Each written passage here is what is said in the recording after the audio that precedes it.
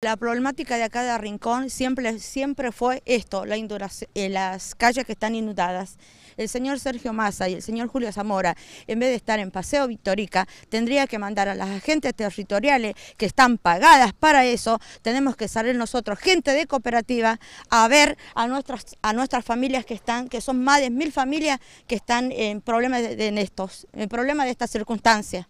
Y al señor Massa que le diga al señor intendente Julio Zamora que Tigre existe, pero existe en la clase pobre, no la gente rica. Nosotros tenemos mucha gente pobre acá en Rincón de Milver. ¿Sabes cuándo ellos salen? Ahora, cuando baja todo, que pasan dos, tres días, ¿me entendés? Ahí, ahí empiezan a recorrer. Ahora es cuando tienen que estar los agentes territoriales que para eso le pagan, ¿viste?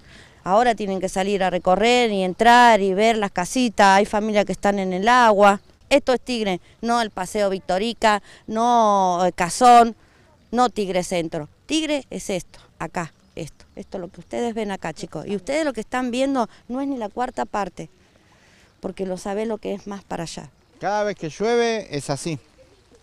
Ya lo ves. Lleno de agua, con... La verdad, pocas soluciones. Urbanizar, ni hablar.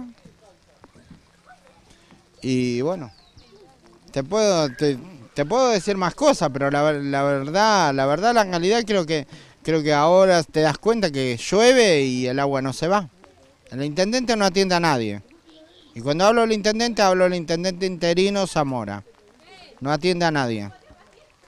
Después, me han dado diferentes números de teléfono de distintos funcionarios y los atienden cuando quieren. Servicios públicos por acá. Poco y nada.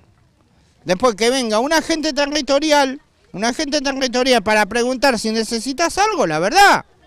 Y puede ser que, que haya venido, pero en realidad no, no sé.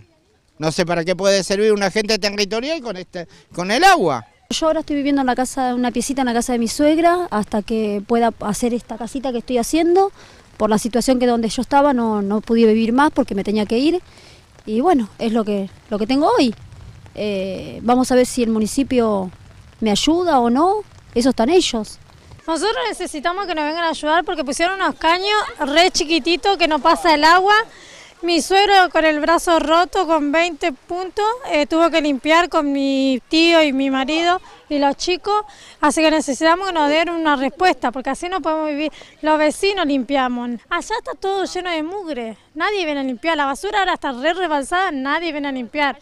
Son barrios que bueno, siempre se ven afectados por, por el tema de la lluvia, porque no, no se hacen las obras, digamos, hidráulicas correspondientes, se vienen reclamando ya hace hace varios años, este, los vecinos, nosotros también hemos apoyado con, petitorios, presentando petitorios en el Consejo Deliberante, este, y no, hasta ahora no se, no se tuvo nunca una respuesta, siempre hay, digamos, este, se van pasando la pelota unos a otros, pero no, no hay respuesta por parte del municipio. Mucha plata se invierte en muchas cosas acá en Tigre que no son prioridad, como seguramente muchos conocen Tigre Centro, las palmeras, las fuentes, este, recitales de millones de pesos que se gastan, digamos, en, en eso y no en las prioridades, ¿no? que obviamente para nosotros es que la gente viva bien.